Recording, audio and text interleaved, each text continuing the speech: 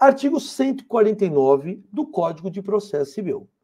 São auxiliares da Justiça, além de outros cujas atribuições sejam determinadas pelas normas de organização judiciária. O escrivão, o chefe de secretaria, o de justiça e o que nos interessa, o perito. Ah, o perito. Então, se você quiser fazer uma rede social, meu filho, colocando que você é um auxiliar da justiça?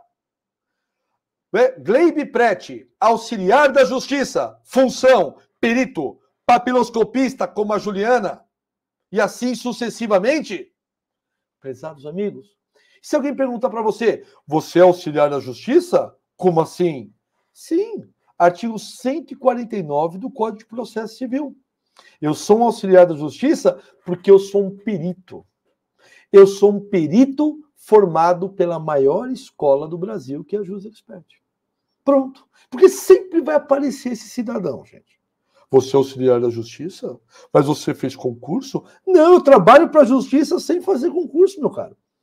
Sim, eu sou auxiliar da justiça. Junto com o escrivão, junto com o chefe de secretaria, junto com o oficial de justiça.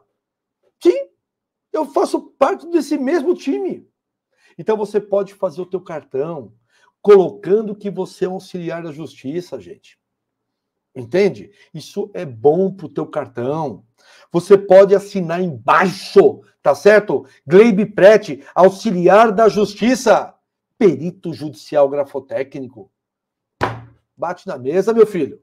Tá certo, gente? Tá? Bom, tudo bem? Tranquilo? Vamos seguir o barquinho? Vamos lá, que é importante, tá? Ah, agora com direito a, a francês aqui, a Marta. Beleza, Marta? Beijão. O tio Rodrigo que gosta da França. Né? De Paris, enfim. Tá certo? Sem dúvida nenhuma. Braço, Nelson. Vamos comer esse negócio aí, com certeza. Tá certo? Artigo 56. Vamos lá. O juiz será assistido por perito quando a prova do fato depender de conhecimento técnico ou científico. Aqui está a base para o juiz te chamar. Então, se alguém perguntar para você, mas espera aí, e se o juiz for grafotécnico? Por que, que ele vai chamar alguém que seja? Porque ele é obrigado. Porque ele é obrigado, prezado amigo. Diante desta situação, prezados amigos, diante desta situação, você necessariamente, meus caros amigos, é, é, é obrigado a ser nomeado pelo juiz.